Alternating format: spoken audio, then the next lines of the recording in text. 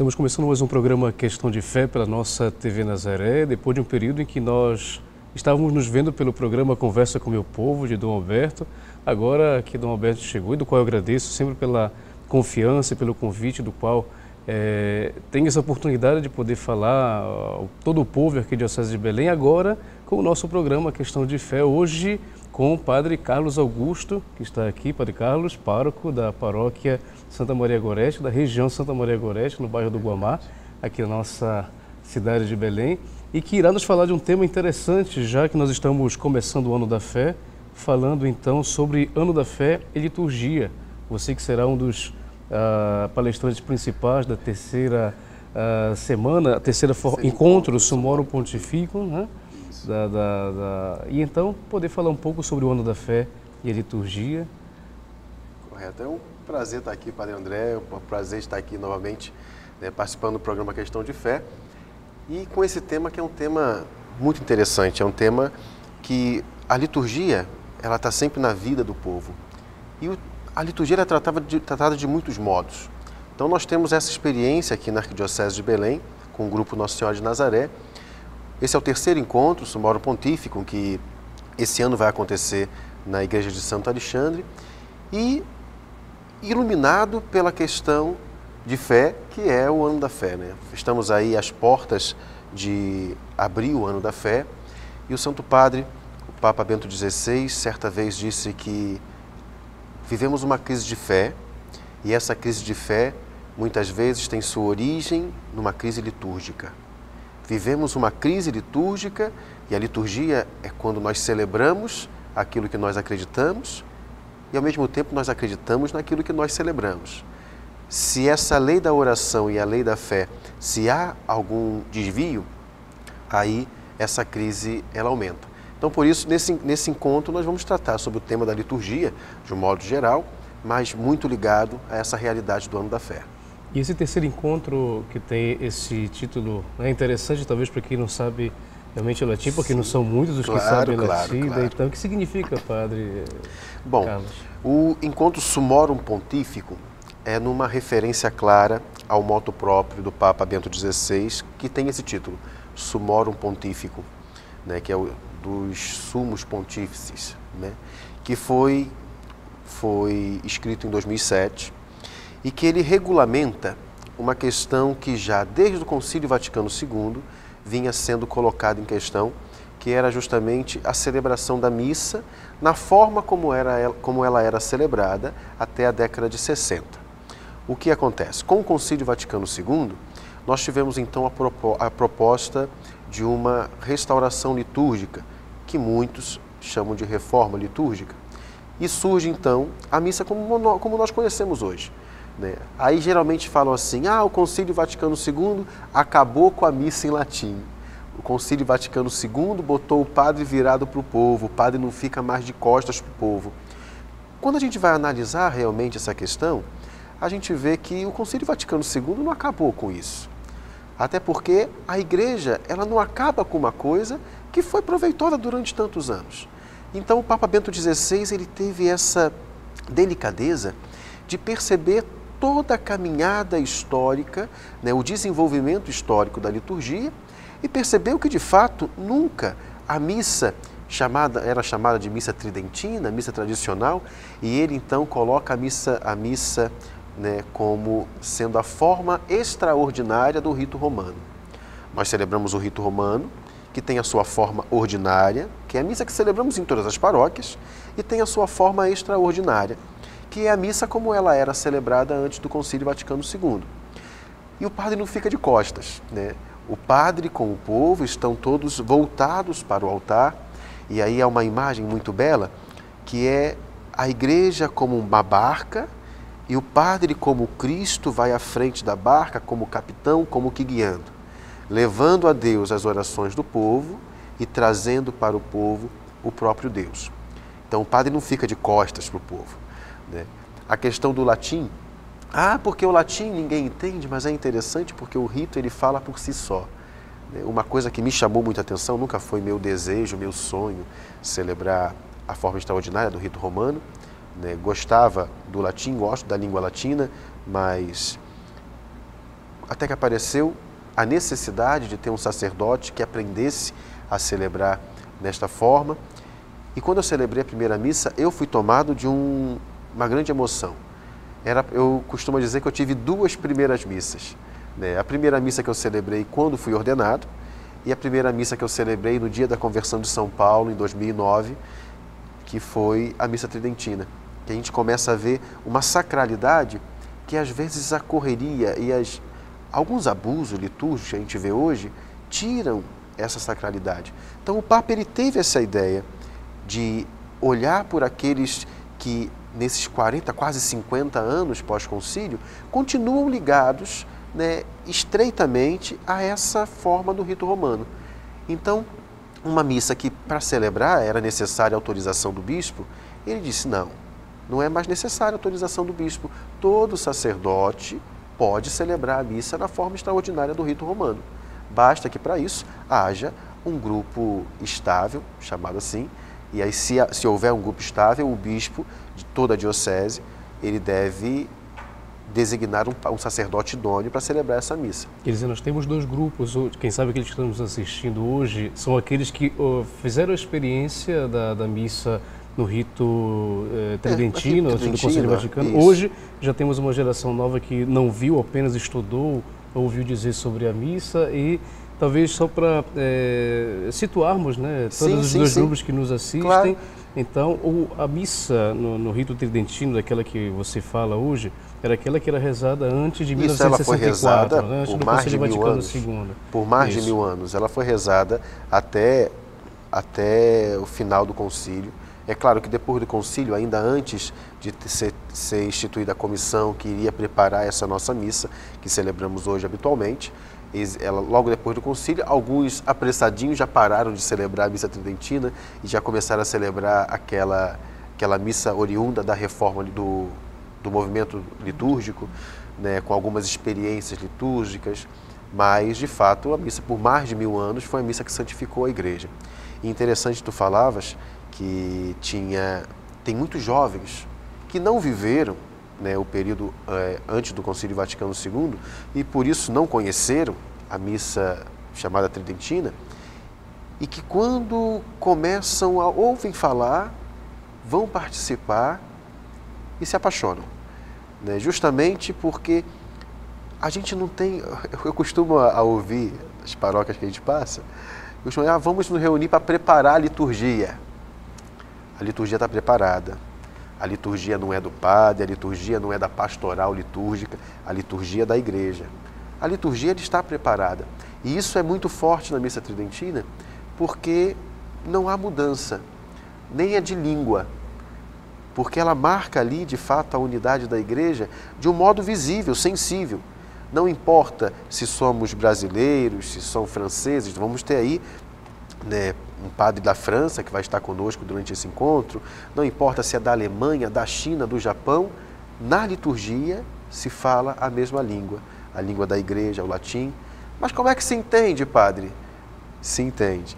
Por exemplo, as leituras, elas são feitas na, na língua, no, no nosso caso em né? português, no vernáculo. Né? A homilia, ela é feita em português, mas o rito em si é feito em latim. E uma coisa interessante, que o nosso povo responde porque só quem precisa responder à missa é, no caso, o, o acólito. Mas o nosso povo re, responde à missa né, e se torna uma missa de fato dialogada. Né, não é uma simples missa rezada em que o, o acólito responde o padre e o povo fica rezando o terço, como muita gente pensa. Mas o povo responde, o povo canta, né, inclusive buscam cantos em latim para aprender. Isso é muito bonito, mostra um desenvolvimento. Às vezes a gente acha que pode ter uma rixa, uma disputa. E graças a Deus, aqui em Belém, a gente, desde o início, batendo muito nessa tecla, não é um grupo sectário, não é um grupo cismático, não é um grupo que quer romper com tudo. Não. É um grupo que quer fazer uma experiência dessa forma de viver a liturgia. E é, é interessante pelo fato de que, vendo é, essa experiência da missa, uh, do modo como era rezada antes e você falava também sobre a questão do, do da permissão do bispo, até para poder também claro, dar, dar uma, claro. dar uma dar, ajudar o povo a se informar. Por que permissão do bispo? O que, que tinha antes e por que, que agora então, né? Moto próprio. Então, só para dizer é, claro. que essa mudança então do Concílio Vaticano II para hoje, aquilo que era antes do moto próprio e aquilo que é hoje com sim, o moto próprio. Sim. O que acontece? Com o final do Concílio Vaticano II, então foi determinada a comissão lá com Bonini, cardeal Bonini, que era para o responsável em organizar a, a reforma litúrgica chamada. Né? Que, de, e aí essa reforma litúrgica originou a missa que chamamos a missa de Paulo VI, que foi por que missa de Paulo VI? Foi a missa assinada pelo Papa Paulo VI, a missa que é fruto então dessa comissão pós-conciliar. Quando essa missa é promulgada, a missa, a missa anterior ao concílio, a gente não pode esquecer todo o clima que envolveu aquele período pós-conciliar. Né? O concílio que veio de fato trazer uma grande renovação para a igreja, mas toda mudança ela traz algumas dores de cabeça. Então nós tivemos depois do concílio, quando de permitir os sacerdotes de não usar a batina, não quer dizer que você ordenou os padres a não usarem batina. Né? Você deu então a autorização por exemplo, o que nós usamos aqui hoje, chamado de klesma, né, que é uma simplificação do que é a batina. A gola que designa né, a nosso estado clerical, que a batina ela era comprida. Aí, é, por várias facilidades, por uma modernização, né, uma atualização ou adiornamento, como diziam, uhum. do pós-concílio, então se simplificou isso. Uma ideia muito de simplificar. Simplificou a vida do sacerdote, então ele não é obrigado a usar a batina. Mas ninguém cortou, proibiu. Vamos que... Aí a gente viu pelo mundo, vamos queimar a batina, ninguém está mais preso em batina. Mas isso também trouxe uma crise muito grande. Muitos sacerdotes perderam o sentido de sua vocação e abandonaram o ministério. Houve uma debandada, uma crise vocacional muito grande. Então, era necessário, naquele período pós-conciliar, que se determinasse que as, que as diversas é, comissões episcopais espalhadas pelo mundo inteiro, que elas organizassem a tradução do, da missa para a língua daquele povo e começou então a fazer-se uma ter como prioridade a celebração da missa pós-conciliar.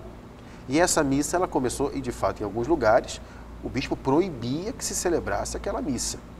Mas no mundo inteiro tivemos alguns grupos que continuaram ligados a essa forma de celebração. Com o passar do tempo, houve então o, uma liberação do Santo Padre para que aqueles sacerdotes mais idosos, que teriam uma dificuldade maior para aprender a nova forma de celebrar a missa, eles poderiam tranquilamente celebrar a missa como era ela celebrada antes do concílio. Então já há a primeira abertura. Né? Você agora, agora se celebra assim, mas aqueles que já são idosos podem continuar celebrando uhum. assim. Depois nós tivemos a, a liberdade para que cada bispo concedesse então a autorização para aqueles padres que quisessem celebrar a missa na forma extraordinária. E, no, por fim, nós temos então em 2007 o Papa Bento XVI que diz: não, todos os padres podem celebrar a missa tanto na forma ordinária como na forma extraordinária. Não é necessária autorização do bispo. Imagina você na paróquia vai celebrar a missa, liga para o bispo, Dom Alberto, é que eu vou celebrar uma missa agora na comunidade tal, o senhor me autoriza a celebrar? Uhum. Se ele dá o uso de ordens, está já no poder sacerdotal é. você celebrar as duas formas. Aí há necessidade que o sacerdote saiba o rito, conheça o rito, né, conheça o latim, tenha pelo menos noções básicas do latim, né, para entender o que está celebrando, ele que seja bem preparado para que ele possa celebrar a missa. E então a gente teve todo esse processo até chegar onde a gente está hoje. E é um movimento histórico, né? é um movimento histórico. A história ela é pendular. Meu padrinho ele é muito mais simples para falar disso. Ele fala assim: ah, quando a vassoura é nova, faz muita poeira.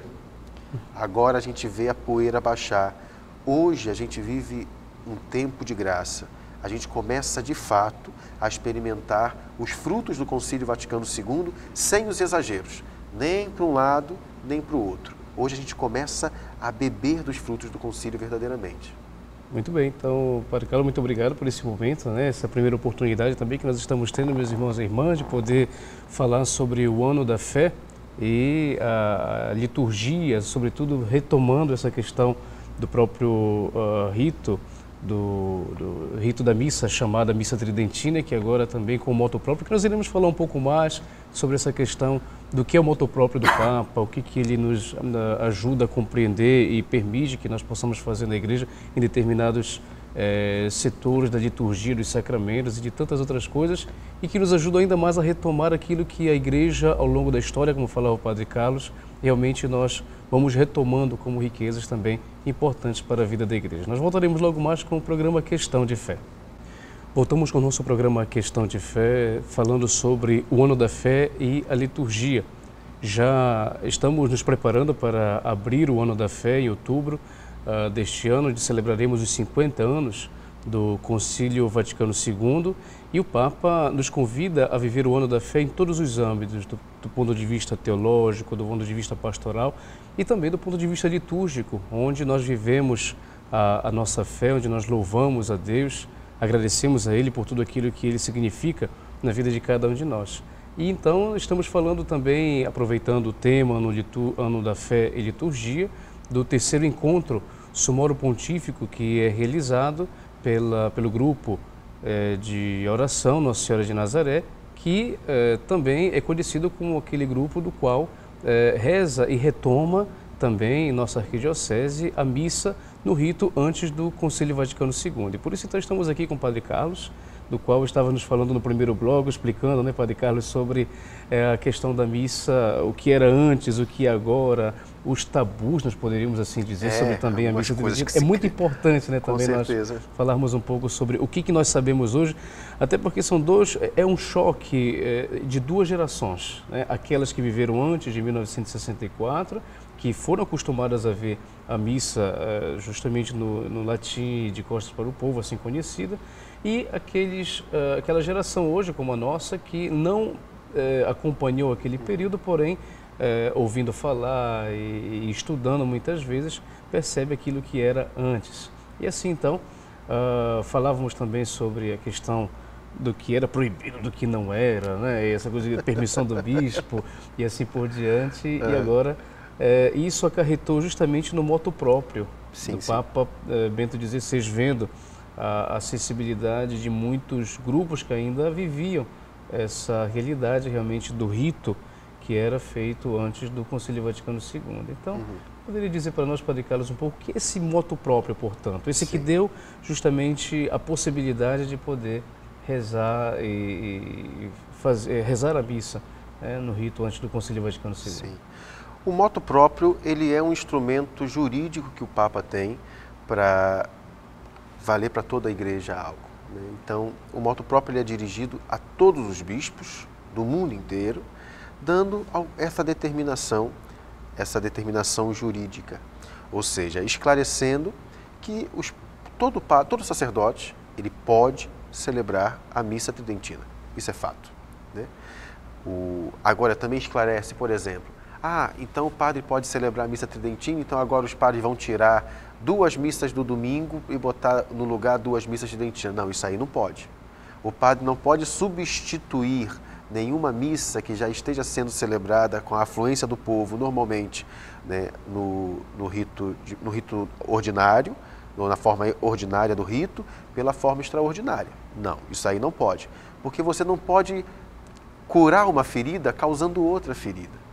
Né? A gente não pode negar, às vezes a gente falava tabu, é porque a gente sabe que época de seminário, época de formação, tem certos assuntos que não se toca, que não se, não se fala, né? como se não pudesse falar. Um desses é justamente essa da missa tridentina. A gente sabe que durante todos esses 50 anos sempre tivemos grupos ligados estreitamente à celebração da missa tridentina, né? ou da forma extraordinária do rito romano. Tivemos sérias situações espalhadas pelo mundo, como foi o caso dos padres ligados a a Monsignor Lefebvre, que aqui no Brasil tivemos os padres de campos e que gerou de fato verdadeiros cismas dentro da igreja, grupos que acabaram saindo da comunhão com a Santa Sé por conta de quererem preservar essa esse rito chamado tradicional, ou preservar esse rito anterior ao Concílio Vaticano II. E eles têm as suas razões, nós, os que defendem as mudanças pós-conciliares têm as suas razões, e a gente tem que pensar isso tudo. O Santo Padre teve essa delicadeza de, como pastor, ouvir a todos os lados e ver que dos dois lados temos coisas positivas e dos dois lados temos coisas negativas. Então, fez agora na, no dia 18, teve uma grande celebração na, em Campos, na administração apostólica São João Maria Vianney, que foi a primeira experiência no mundo em 2002, foi feita ainda pelo Papa João Paulo II, foi criada uma administração apostólica para acolher de volta aqueles padres ligados à tradição, que eram conhecidos assim os padres de Campos. Foi nomeado Dom Fernando Rifan, bispo, né, ali, administrador, administrador apostólico daquela realidade. E hoje, isso é uma experiência muito positiva.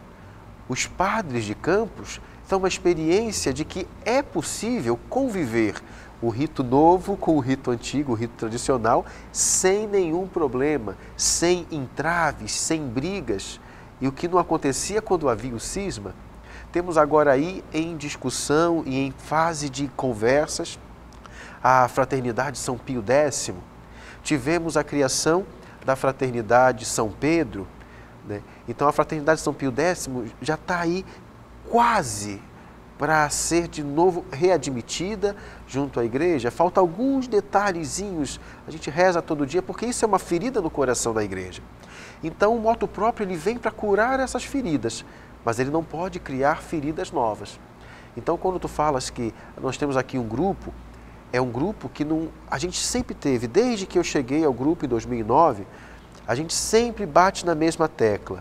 Não devemos criar intriga, criar rixa, nós não somos melhores porque participamos da missa tridentina. Não é assim que se converte o mundo, não é assim que se convence, convence o outro. Se tivermos essa experiência positiva de viver essa realidade da forma extraordinária do, do rito romano, glória a Deus. Mas a gente não tem que obrigar os outros a ter esta mesma experiência. E assim a gente tem vivido, e a gente celebrava a missa na, no colégio Gentil Bittencourt. Né, meu grande agradecimento às irmãs filhas de Santana que desde o início abriram as portas para nós e lá em 2010 nosso arcebispo Dom Alberto celebrou uma missa pontifical que foi depois do Concílio Vaticano II, o primeiro arcebispo brasileiro a presidir uma missa pontifical.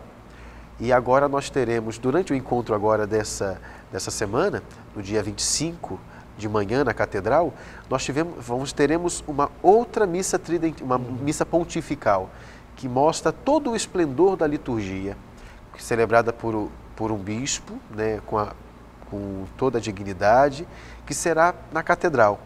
Pela primeira vez, após o Concílio Vaticano II, Belém aí na à frente de tudo, pela primeira vez após o Concílio Vaticano II, teremos aqui em, aqui em Belém uma missa pontifical numa catedral arquidiocesana ou metropolitana. Missa pontifical só para...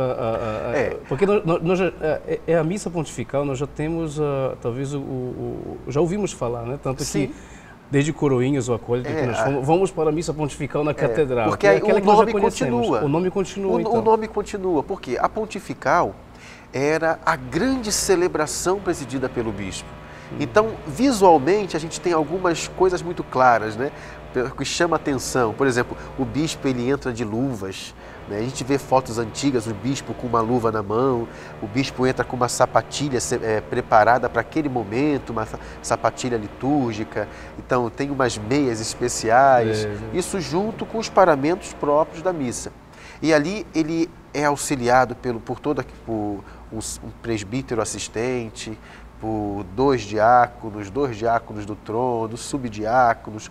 E aí a gente tem toda a corte do bispo celebrando junto com ele a missa pontifical é o ápice de toda a ação litúrgica da missa. Seria a missa mais solene na, na, na forma extraordinária. Porque você tem a missa, a missa rezada, que o sacerdote até sozinho ele pode rezar. Uhum. Você tem a missa dialogada, em que há esse diálogo, que é o que acontece hoje. Quando o padre fala, o Senhor esteja convosco, o povo responde, ele está no meio de nós. Na forma extraordinária, é Dominus vobiscum, e o povo responde, é com o Espírito tuo. É essa missa dialogada. Há a missa cantada, né, a missa solene, a cantada, e há a missa pontifical do bispo. Porque o bispo ele pode celebrar a missa prelatícia, a missa mais usual, e a missa pontifical. E aí requer toda uma estrutura, com cantos. É uma missa belíssima. E é por isso então chamada pontifical. Pontifical. Pontífex, que significa Isso. pontífice, do Isso. qual o bispo então. Correto. né, é, É, não, não porque- tem nenhuma diferença É, no caso não. do que ele que a gente já conhece. É, né? é o pontifical. É. É o pontifical do porque bispo. ele usa todas as insígnias pontificais. Né? Então, os bispos eles recebem algumas insígnias e que elas são usadas todas nesta missa pontifical. Por exemplo, as luvas, elas não são usadas na missa prelatícia, porque eles celebram normalmente, mas na pontifical elas são usadas, porque são insígnias, insígnias pontificais que o bispo recebe e nessa missa ele, cele- ele, ele utiliza. E é interessante porque s- são, são símbolos que eram usados antes, hoje eles eh, são opcionais, justamente a causa né, ah, do, próprio, do próprio Concílio Vaticano II que nos propôs essas mudanças, as mudanças litúrgicas nesse ponto Sim, de sim, vista. sim. Por isso que o povo não, não, não, não, não, não é acostumado a poder É. ver todas essas coisas. Porém, ah, é interessante porque no Brasil, no mundo, nós temos uma diversidade de ritos que muitas vezes até quem sabe numa próxima oportunidade aqui a gente pode eh, aprofundar melhor. Na própria Igreja Católica, por exemplo, nós temos o rito greco-romano, nós temos o greco eh, ortodoxo, né, do qual nós temos realmente várias Nós somos eh, chamadas famílias, famílias Isso. litúrgicas, né? Hã? O é, greco-melquita, temos o, o sírio antioqueno, nós temos o ambrosiano. Justamente. né? Nós são famílias litúrgicas em que você não perde a unidade com a igreja de Roma por conta disso. Né? Você tem essa abertura para essa realidade. Né? E por isso que aí, quando você determina a missa tridentina, ela não é um novo rito, ela é a forma extraordinária do rito romano. Então, o rito romano ele tem duas formas de ser, ser celebrado. A forma ordinária, como nós celebramos em todas as igrejas, nós vemos por aí, e tem a forma extraordinária, que é trazer aquele a, miss, a missal de 65, né, a, de 62, perdão, trazer o missal de 62, aquela forma que era celebrada até o Concílio Vaticano II. Para ajudar também, na, na, na, até na própria reflexão, por exemplo, uh, os nossos agentes de pastoral são acostumados, por exemplo, a ver os ministros extraordinários para a comunhão, por exemplo. Sim, sim, Ah, sim. Por que extraordinários da comunhão? Porque justamente antes, justa, é uma das práticas do concílio antes, né, anterior ao concílio, que é aquelas em que só poderia distribuir a comunhão quem era o bispo ou o sacerdote. Sim. É, e então, uh, com o Concílio Vaticano II, eh, nós temos todas as, a- a- as orientações no que diz respeito aos leigos que distribuem a comunhão, tanto Claro. que precisa da permissão de fato do bispo, o mandato do bispo. Nós tivemos agora no último, na última solenidade de Corpus Christi a renovação justamente Claro. do mandato. O mandato ele é renovado, tem gente que acha que recebeu, é ministro extraordinário, que agora a vida inteira vai ser ministro. Justamente. Não, por isso tem que ser renovado a cada ano. E eu tenho a impressão que o ano da fé, então, ah, resgata a, a necessidade de nós eh, valorizarmos ainda mais aquilo que temos na igreja como riquezas. Sim, sim. E por isso, então, o ano da fé e liturgia, né, Padre Claro, Carlos? porque na liturgia, a gente quando, como eu falava no início, existe aquele axioma da lex orandi, lex credendi, ou seja, a lei da oração e a lei da fé. A igreja acredita naquilo que a igreja reza e a igreja reza aquilo que a igreja acredita. Então nós temos, de modo muito claro, na forma extraordinária do rito romano, na missa tridentina, nós temos algumas certezas de fé muito claras ali sendo expressas.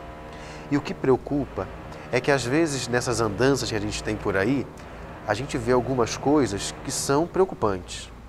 Certa vez eu não vou falar o nome da autora aqui porque não vem ao caso, mas eu, vi, eu li uma, uma, uma produção, né, um livro publicado no Brasil por uma editora católica e uma estudiosa de liturgia, em que ela dizia que na Eucaristia o que acontece é uma transsignificação.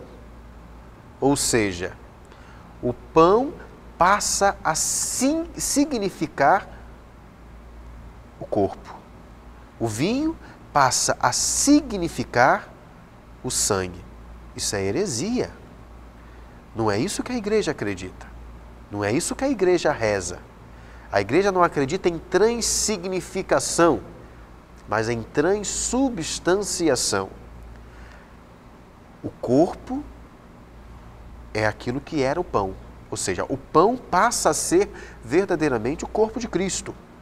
O vinho passa a ser verdadeiramente o sangue de Cristo, uma mudança na substância. Transubstanciação, mudança na substância. Transsignificação, mudança de significado. Totalmente diferente.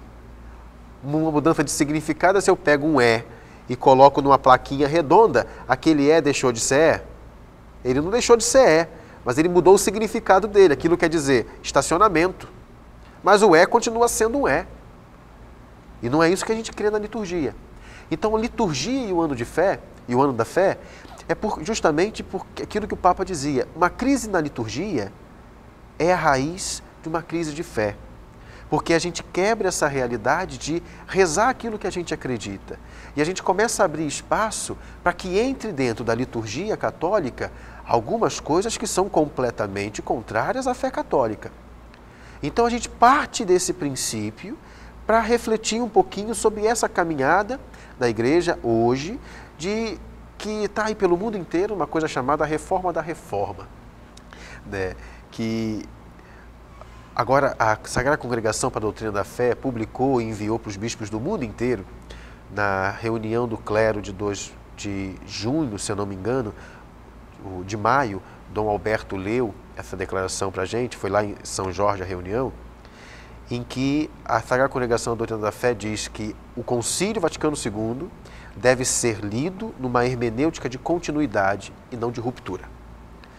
Existem algumas pessoas que teimam em passar a ideia de que tudo começa com o Concílio Vaticano II e se esquece todo um histórico de mais de quase dois mil anos para trás. O Concílio vai fazer agora 50. Né? Então, essa hermenêutica da continuidade é querer ver a liturgia como um processo que se desenvolve ao longo da história e ver a realidade da fé sob o prisma da vivência litúrgica.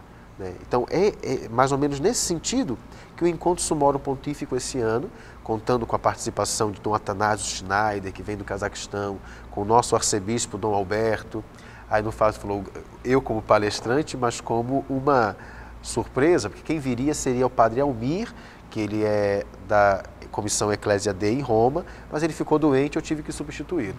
Assim, dessa forma, nós então com esse encontro, nós iremos falar no próximo bloco o que significa os seus objetivos sim, sim. e assim mesmo também para você, meus irmãos e irmãs, o ano da fé e liturgia, que é a necessidade dessa retomada de podermos sempre mais acreditar na força renovadora de Cristo que, por meio do seu Espírito Santo, vai sempre nos animando na vida e na caminhada da igreja. Nós voltaremos com o programa Questão de Fé.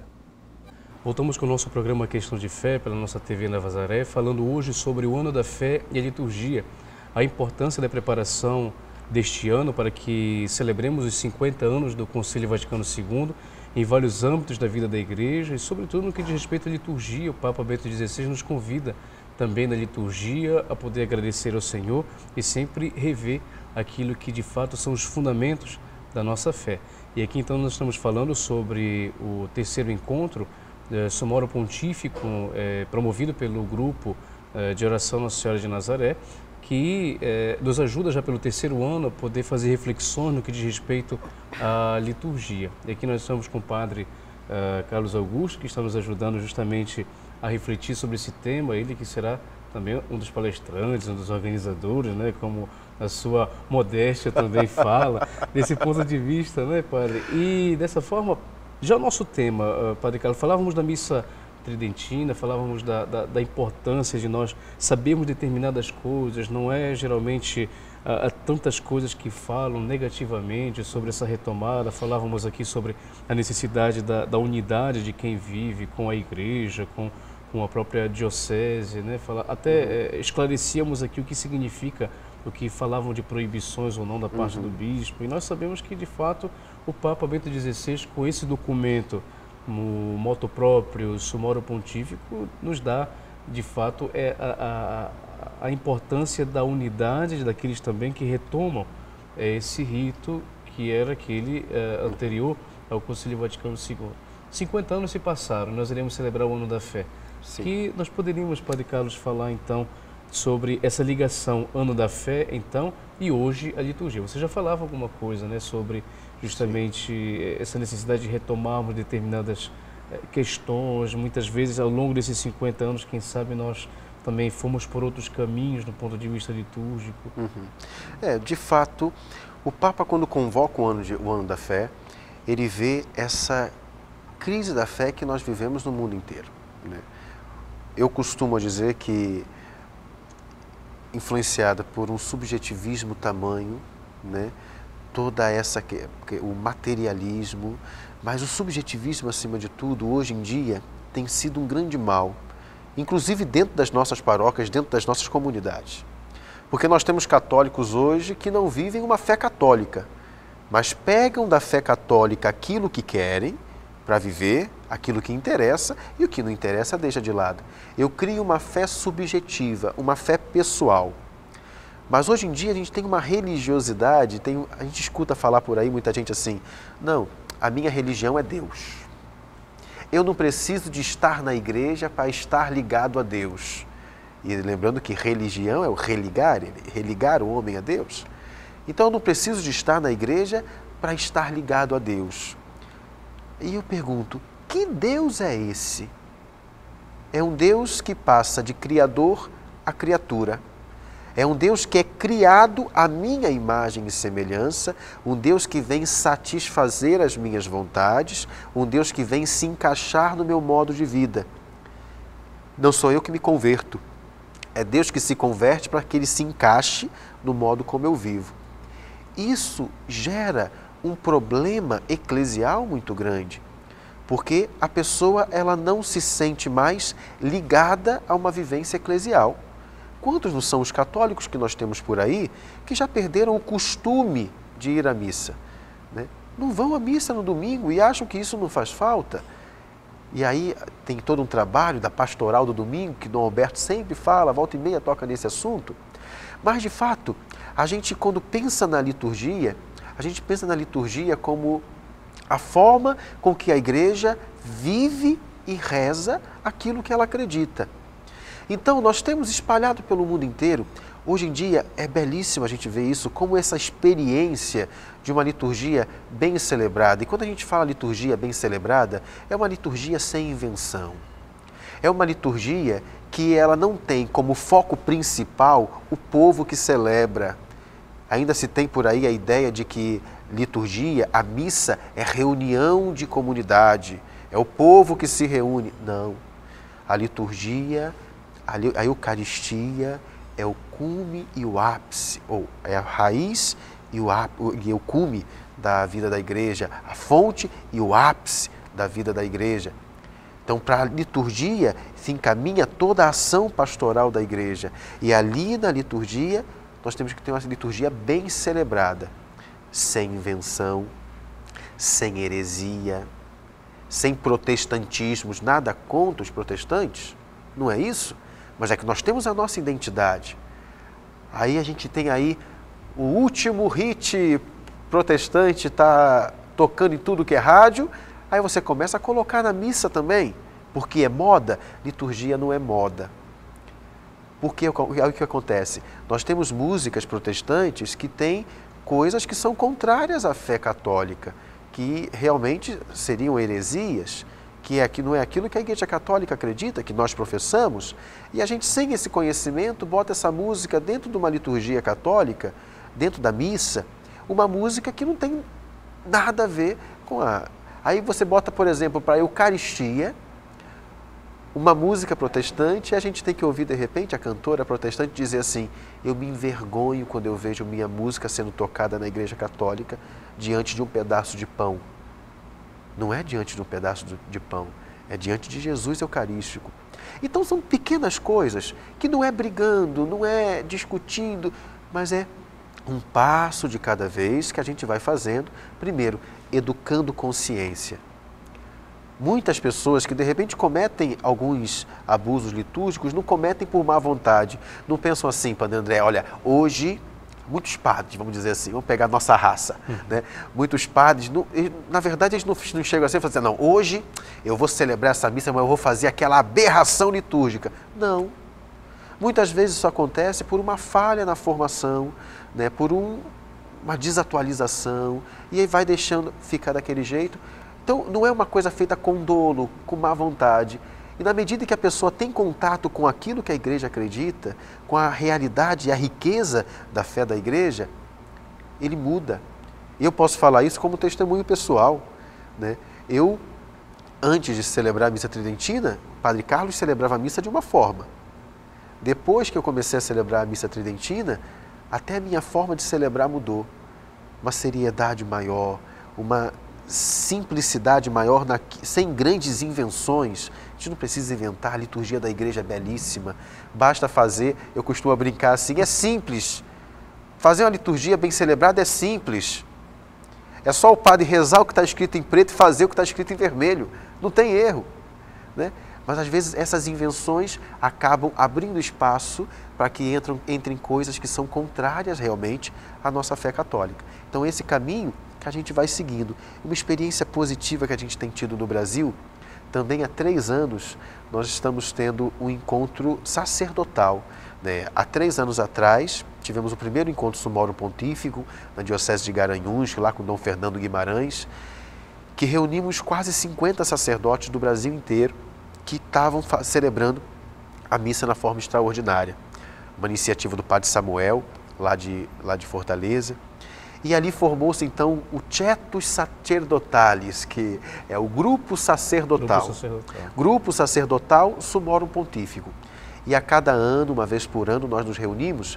E uma coisa interessante, que não virou mais um encontro daqueles padres que celebram a missa tridentina, mas virou um encontro de diálogo litúrgico, de vivência litúrgica, em que a gente pega as riquezas da forma extraordinária, com as riquezas da liturgia bem celebrada na forma ordinária, e ali a gente consegue ter uma convivência e um momento de pensar um pouco essa caminhada que vivemos. Então, eu vejo as graças que Deus tem concedido e que vai conceder ainda nesse ano da fé. É importante, eh, Padre Carlos, aquilo que você falava, o ano da fé hoje é a retomada eh, que o Papa nos fala no moto, no moto próprio, né, da, da, da, da, carta da Porta Fidei, é a retomada justamente dos fundamentos da nossa fé. Nós estamos tão a, a, acostumados a, a falar dos resultados da fé, que é os resultados econômicos, políticos, nos quais a fé ela, ela é refletida, porém o fundamento dela nós estamos realmente perdendo. E você falava de uma coisa é, interessante que é um perigo que nós corremos hoje, que é esse subjetivismo. É o pensar somente a partir do meu ponto de vista e viver a partir do meu ponto de vista. Isso entra na, na, na, vida da igreja, muitas vezes, pode entrar na vida das nossas comunidades, na vida da nossa, das nossas paróquias e, sobretudo, no âmbito litúrgico. E você retomava justamente essa questão de que a, a, a, liturgia muitas vezes ela é celebrada a partir também da nossa maneira. E a, Criada a imagem e semelhança do padre, do, do padre ou do coordenador do, de liturgia. Então, a culpa não é só de padre, não. a necessidade então, de podermos retomar né, é, essa questão da liturgia. E nessa experiência que você mesmo viveu, de, de, de rezando, né, vivendo a, a realidade da, da missa, anterior ao concílio como uma ajuda hoje para a sua própria espiritualidade litúrgica também. O ano da fé é possível também uh, ajudar o povo a viver melhor a partir dele a liturgia que nós celebramos? Com certeza. Padre André, quando a gente trabalha com seriedade, a gente consegue colher cada coisa do nosso povo. E aí, vou adiantar aqui um pouquinho minha palestra de quinta-feira que é justamente a minha experiência há quatro anos como pároco de Santa Maria Gorete, ali no Guamá. Né? Nossa paróquia está para completar 30 anos e nesses quatro anos nós tivemos uma caminhada lenta, mas muito proveitosa, de uma transformação realmente no modo como enxergamos a nossa fé. Né? Então a gente quando dá alimento sólido, o povo ele tem sede. Para ter ideia, tivemos um primeiro encontro de preparação para o ano da fé, para os 50 anos do concílio, aconteceu em fevereiro.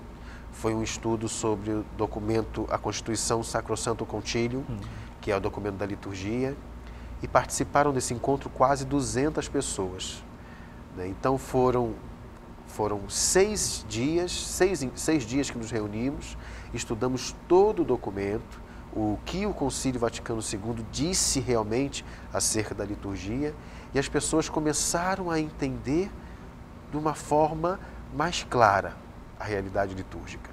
Né? Às vezes nós nos acostumamos, achamos que para preparar bem uma liturgia, a gente tem que colocar uma simbologia, tem que colocar isso.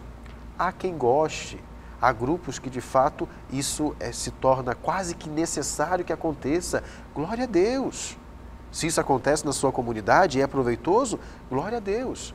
Mas a gente não pode fazer dessa realidade regra para toda a igreja. O que é regra para toda a igreja é aquilo que a igreja mostra como deve ser. A gente deve aprender o certo. Depois, se a gente quiser fazer o, alguma extravagância, é por nossa conta e risco.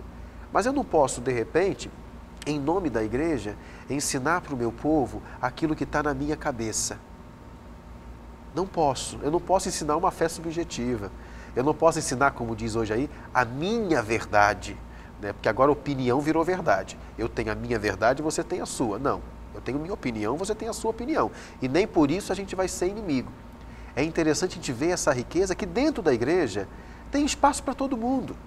Né? Tem, a gente tem todo domingo, 11 horas da manhã, na Igreja do Rosário da Campina, a missa na forma extraordinária. Assim, fixo mesmo, nós temos em torno de 30, 40 pessoas que todo domingo estão conosco na missa. Mas tem dia que na missa dá mais de 100 pessoas. Porque às vezes tem um curso de liturgia em uma, numa uma paróquia e eles marcam de naquele domingo irem participar da, e participar da missa tridentina. E participam tudo. E a gente vê que essa experiência da missa tridentina está se espalhando pelo mundo inteiro. E não apenas para a celebração da missa tridentina, mas para a celebração da missa na forma extraordinária, de uma forma mais coerente com aquilo que é proposto pela igreja.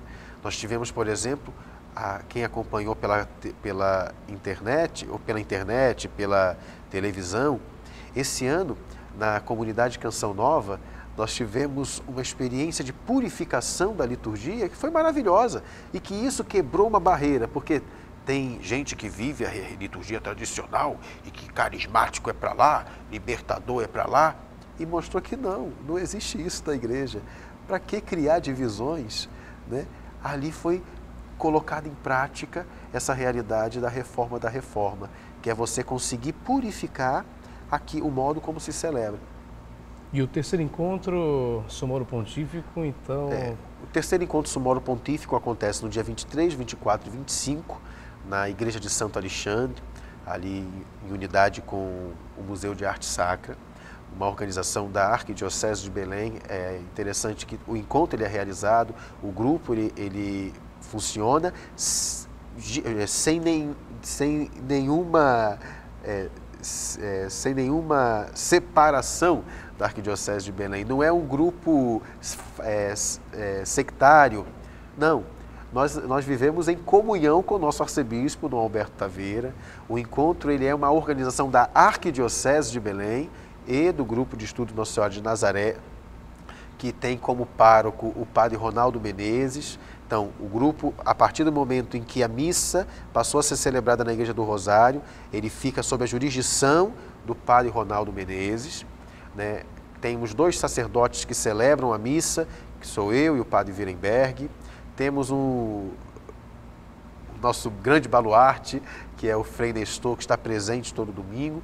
E esse encontro com as bênçãos do nosso arcebispo, ele acontece na igreja de Santo Alexandre. Na quinta-feira, teremos a abertura às 18h30, com uma missa na forma extraordinária lá na igreja de Santo Alexandre. Logo depois, teremos uma palestra, o Ano da Fé e a Liturgia, que seria a palestra do padre Almir Andrade, mas que por situações que fogem ao nosso controle, que o padre, Almir ficou enfermo, aí eu terei que substituí-lo. É o Severino, eu costumo brincar. Né?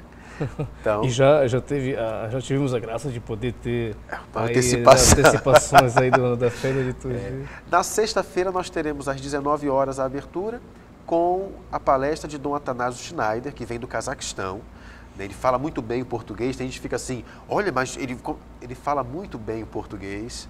Né? Ele estava aqui no Brasil e a gente conseguiu aproveitar essa data para que ele participasse conosco. Uhum. E é um bispo que tem destaque no mundo inteiro. Vem gente do Brasil inteiro porque soube que Dom Atanásio estaria aqui. Okay. Ele tem publicações né, a nível litúrgico. E ele vai falar um pouquinho dessa experiência da, da vivência litúrgica no Cazaquistão.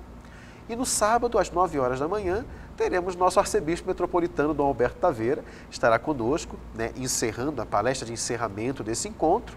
E logo depois da palestra de Dom Alberto, teremos na Catedral, de, na Catedral da Sé, teremos a missa pontifical, né, com a escola cantorum cantando, com a participação daqueles que ali a chegarem para ver essa beleza que é a liturgia. Então, esse é o encontro sumoro pontífico. Não é um bicho de sete cabeças, né? mas é uma, uma pequena ajuda que o nosso grupo quer dar que esse encontro a princípio seria um encontro fechado, mas a gente viu, não, poxa, é uma oportunidade que a gente tem de que todos participem né? e que vejam, que, a, que rompam com preconceito.